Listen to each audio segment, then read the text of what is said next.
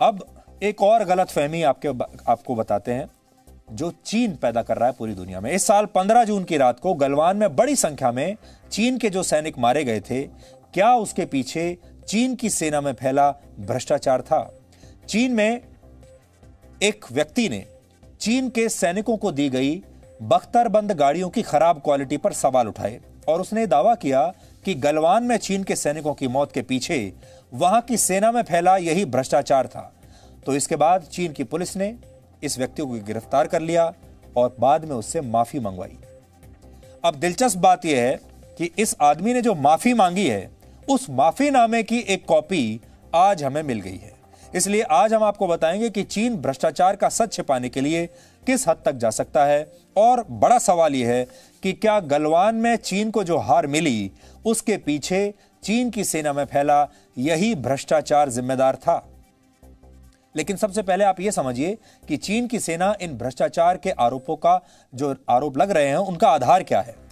आपको याद होगा, लद्दाख सीमा पर गलवान घाटी में 15 जून की रात को जो लड़ाई हुई थी, उसमें भारत के 20 सैनिक शहीद हो गए थे। लेकिन इसमें चीन की सेना के भी 40 से 50 सैनिक मारे गए थे।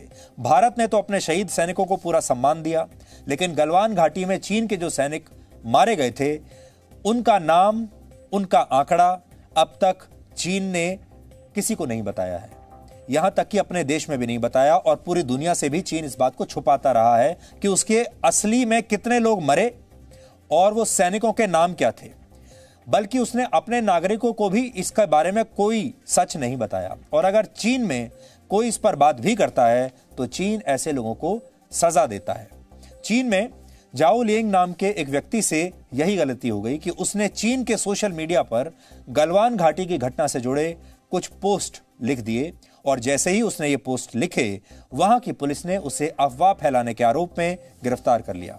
चीन के इस व्यक्ति ने अपने सोशल मीडिया पोस्ट में गलवान घाटी में चीन की सेना के नुकसान की असली वजह बताई थी। इस आदमी ने लिखा था कि चीन की सेना को डोंगफेंग नाम की एक कंपनी ने जो सैन्य गाड़ियाँ सप्लाई की थी, वो गाड़ियाँ बहुत खराब क्वालिटी की थी और कंपनी की इसी भ्रष्टाचार की वजह से सीमा पर चीन और भारत के टकराव में, चीन के सैनिकों की इतने बड़ी संख्या में मौत हुई। बाद में चीन की सेना ने इस कंपनी की ऐसी 500 गाड़ियाँ वापस भी कर दी थी। यानी बाद में शायद यह पाया गया कि ये गाड़ियाँ ठीक नहीं थी, ये सब स्टैंडर्ड गाड़ियाँ थी।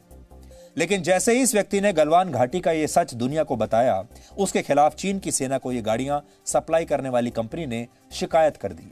और इसी शिकायत पर चीन की पुलिस ने पिछले हफ़्ते इस आदमी को गिरफ़्तार कर लिया। सिर्फ़ इतना ही नहीं, इस व्यक्ति को गिरफ़्तार करने के बाद चीन की पुलिस ने अब इससे एक माफ़ी नामा लिखवा लिया है।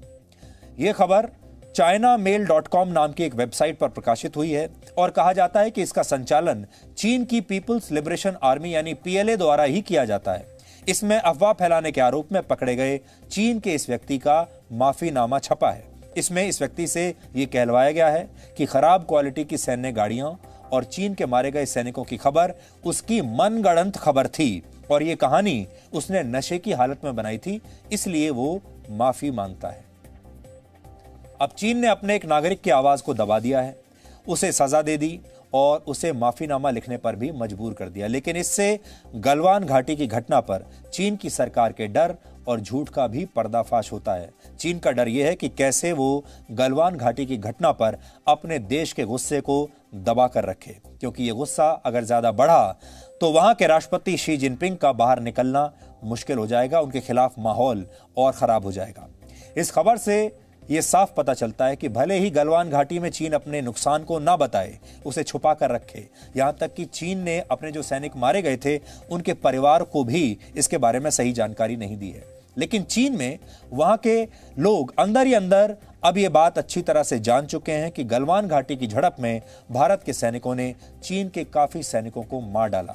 लेकिन चीन की सेना और वहाँ की सरकार ने जिस तरह से अपने मारे गए सैनिकों का आंकड़ा छुपाया उससे चीन में गुस्सा भी है और यही गुस्सा वहाँ के सोशल मीडिया पर भी अब दिखने लगा है।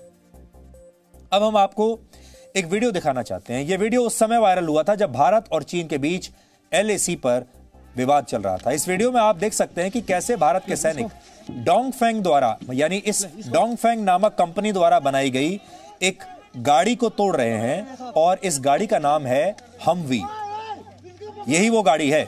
हालाँकि उस समय भारत की सेना ने यह साफ़ किया था कि इस वीडियो का एलएसी पर चल रहे विवाद से कोई लेना देना नहीं है। लेकिन आज हम दावों की सच्चाई क्या थी, इसमें नहीं पढ़ना चाहते। ये वीडियो कब का है, क्यों बना था, इस पर नहीं पढ़ना चाहते। वीडियो आपको हम इसलिए दिखा रहे हैं क्योंकि यही वो गाड़ी है जिस पर आरोप लग रहे हैं कि ये गाड़ी सब स्टैंडर्ड है और भ्रष्टाचार की वजह से इस कंपनी ने घटिया गाड़ियाँ चीन के की सेना को सप्लाई कर दी और इन गाड़ियों ने चीन की सेना को यहाँ लद्दाख में आकर धोखा दे दिया। और यहाँ ऐसा लगता है कि ये गाड़ी शायद यहाँ पर आकर भी खराब हो गई है और अब इसे भारत के जो सैनिक हैं वो तोड़ने की कोशिश कर रहे हैं ये तस्वीरें देखकर आप समझ गए होंगे कि चीन में बनी सेना की गाड़ियों की क्वालिटी कैसी है। चीन की जैसी क्वालिटी होती है made in China China products की जैसी क्वालिटी होती है, वैसे ही इस गाड़ी की भी है। अब खुद चीन में यही चर्चा चल रही है कि इस तरह की गाड़ियाँ ही चीन के सैनिकों को गलवान में बचा नहीं पाई और इसके पीछे भ्रष्टाचार को एक बड़ी वजह बताया जा रहा है। चीन के ही मीडिया में छपी कुछ रिपोर्ट्स का दावा है कि इन गाड़ियों का निर्माण करने वाली कंपनी डोंग फेंग ने चीन की सेना को धोखा दिया है। ये करप्शन रोकने का दावा करने वाले चीन जैसे देश के लिए एक बहुत गंभीर सवाल है और चुनौती है। और अब ये आरोप लग रहे हैं कि इसके पीछे रक्षा सौदों में हुआ भ्रष्टाचार असली वजह है। इस संदर्भ में चीन पर सवाल उठाने वाले एक व्यक्ति के साथ, चीन ने क्या किया? हम आपको बता चुके हैं। यह व्यक्ति न सिर्फ़ गिरफ़्तार हुआ, बल्कि बाद में माफ़ी भी मांगनी पड़ी। लेकिन यह सिलसिला यही नहीं रुका। चीन की कई वेबसाइट्स ने इस कहानी को प्रकाशित कर दिया। ऐसी एक वेबसाइट में छपी एक खबर इस समय आपकी स्क्रीन पर है। इसमें भी कहा गया है कि यही डॉगफैंग नामक कंपनी के अधिकारी पर वित्तीय गड़बड़ियों को लेकर जाँच चल रही है। हालाँकि इसमें भारत और चीन के विवाद का ज़िक्र नहीं है। गलवान का ज़िक्र इस खबर में नहीं है। लेकिन चीन के एक और अखबार, एक और अखबार की वेबसाइट, एप्पल डेली में डोंग फेंग पर लगे आरोप और एलएसी पर चल रहे विवाद के बीच कनेक्शन की बात लिखी गई थी। यह अखबार हांगकांग से प्रकाशित होता है, इसीलिए ये ऐसी बातें लिख पाया। और इस रिपोर्ट में लिखा गया था कि इन गाड़ियों के निर्माण में खराब क्वालिटी के स्टील का इस्तेमाल हुआ था। लेकिन क्या आप जानते हैं कि इस अखबार के मालिक के साथ क्या हुआ? इस अखबार ने यह खबर तो छाप दी, चीन की पोल भी खुल गई। लेकिन इस अखबार के मालिक के साथ क्या हुआ, अब आप वो भी सुन लीजिए। इस अखबार के मालिक को हांगकांग में राष्ट्रद्रोह के आरोप में गिरफ़्तार कर लिया गया है। चीन की खराब क्वालिटी की सैन्य गाड़ियों और गलवान में चीन के सैनिकों के मारे जाने की घटना को कई लोग आपस में जोड़कर देख रहे हैं, क्योंकि चीन ने अभी तक अपने मारे गए सैनिकों की संख्या बताई नहीं है। लेकिन इस तरह के आरोप नए नहीं हैं और न चीन की सेना में भ्रष्टाचार के दावे नए हैं। चीन की डोंगफेंग हमवी जो गाड़ी है खुद इसका सबसे बड़ा उदाहरण है। यह गाड़ी अमेरिकी सेना में इस्तेमाल होने वाली गाड़ी हमर की कॉपी है। आपने हमर के बारे में तो सुना ही होगा। अमेरिका की बड़ी मशहूर गाड़ी है ये हमर और वहाँ की यूएस आर्मी इसको यूज़ करती है। ये जो गाड़ी है, ये हमर की कॉपी है। हमर के अब सिविल वर्जन भी आ चुके हैं। यानी अब आम नागरिक जो हैं, वो भी हमर खरीद सकते हैं। और अमेरिका और यूरोप के देशों में ये जो सिविलियन वर्जन है हमर का, उसकी काफ़ी मांग है। लेकिन चीन इसे नकल नहीं मानता और उसका कहना है कि यह कानूनी रूप से चीन में ही बना प्रोडक्ट है। ऐसा इसलिए क्योंकि चीन में हमवी का निर्माण करने वाली डोंगफेंग मोटर ग्रुप की मालिक खुद चीन की ही सरकार है। कहा जाता है कि चीन के पास हमर के रीमेक का लाइसेंस भी है, लेकिन डोंगफेंग मोटर पर, मोटर्स पर पहली बार करप्शन के आरोप नहीं लगे हैं, बल्कि 2015 में भी इस कंपनी के एक अधिकारी के खिलाफ भ्रष्टाचार की जाँच हुई थी। अब यह तो नहीं कहा जा सकता कि गलवान में इतनी बड़ी संख्या में चीन के सैनिकों के मारे जाने का संबंध इसी भ्रष्टाचार से है या नहीं। लेकिन जिस तरह से चीन की सरकार इस कंपनी से जुड़ी खबरें छापने वालों पर कार्रवाई कर रही है, उससे शक ज़रूर पैदा होता है। और, जैसा हम आपको बता रहे थे कि हांगकांग में एक बहुत बड़े उद्योगपति को गिरफ़्तार कर लिया गया है, क्योंकि वो लोकतंत्र के बारे में बात करते थे और, जो भी व्यक्ति लोकतंत्र के बारे में बात करता है, चीन उसके साथ यही, ऐसा ही व्यवहार करती है। चीन के राष्ट्रपति शी जिनपिंग जब सत्ता में आए थे तो उन्होंने चीन से भ्रष्टाचार खत्म करने का वादा किया था।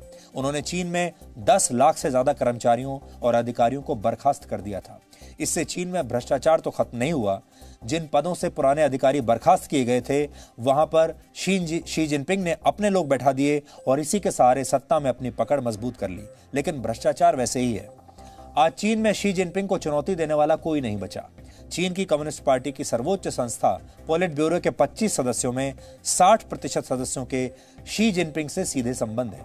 इनमें से कई लोग शी जिनपिंग के परिवार से जुड़े हुए हैं तो कई लोग शी जिनपिंग के बचपन के दोस्त हैं, और कई लोग उनके साथ पहले भी काम कर चुके हैं, यानी उन्हीं के लोग हैं चारों तरफ़। ये सभी लोग कैसे सर्वोच्च पदों तक पहुँचे, इसके लिए भी शी जिनपिंग ने भ्रष्टाचार के मुद्दे पर चाल चली। और 170 से ज़्यादा पुराने सीनियर और जूनियर मंत्रियों को या तो बर्खास्त कर दिया या फिर उन्हें जेल में डाल दिया और फिर इनके पदों पर अपने करीबियों को उन्होंने बैठा दिया। चीन में शी जिनपिंग की भ्रष्टाचार विरोधी मुहिम को आठ साल हो चुके हैं और आज भी चीन भ्रष्टाचार के मामले में पूरी दुनिया में एक सौ अट्ठानवे देशों में अस्सीवें नंबर पर आता है। शी जिनपिंग की सत्ता और शक्ति में जिस तरह से चीन के लोग फंसे हुए हैं, वैसे ही चीन अपने कर्ज के जाल में दूसरे देशों को फंसाता है। यहाँ हम आपको नेपाल का उदाहरण देना चाहते हैं, जिसके साथ चीन ने वर्ष 2012 में छह विमानों का सौदा किया था। इस सौदे के मुताबिक नेपाल को चीन के छह विमान खरीदने थे और इसके साथ चीन अतिरिक्त दो विमान नेपाल को गिफ्ट के तौर पर देगा, मुफ़्त देगा, दो विमान मुफ़्त दे देगा। लेकिन चीन के ये विमान ऐसे निकले कि इनकी क्वालिटी इतनी घटिया निकली और नेपाल को आखिरकार ये छह विमान इन छह विमानों को सेवाओं से हटाना पड़ा। लेकिन इस सौदे की वजह से नेपाल जिस कर्ज के संकट में फंस गया, वो आपको ज़रूर जानना चाहिए। नेपाल ने चीन से ये छह विमान खरीदने के लिए करीब 660 करोड़ नेपाली रुपए का सौदा किया था, जिसमें 60 प्रतिशत रकम चीन के ही एग्जिम बैंक से लोन के तौर पर ली गई। ये 20 साल का लोन था, जिसमें डेढ़ प्रतिशत ब्याज दर से नेपाल को लोन दिया गया। अब जब नेपाल के चाइनीज़ विमान किसी काम के रहे ही नहीं, जब ये उड़ते ही नहीं, और जब ये सेवाओं में ही नहीं है तो नेपाल चीन के इस कर्ज में फंस कर रह गया है, क्योंकि विमान तो उड़ नहीं रहे, विमान बेकार खड़े हुए हैं, लेकिन लोन वापस करना है, और लोन के ऊपर जो इंटरेस्ट लग रहा है, वो भी नेपाल को देना ही पड़ेगा, यानी पैसे भी गए और विमान भी नहीं मिला।